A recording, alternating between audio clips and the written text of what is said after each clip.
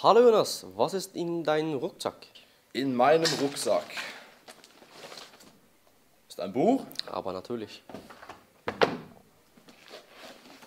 noch mehr Bücher, ein Taschenrechner, noch mehr Bücher, ein Block,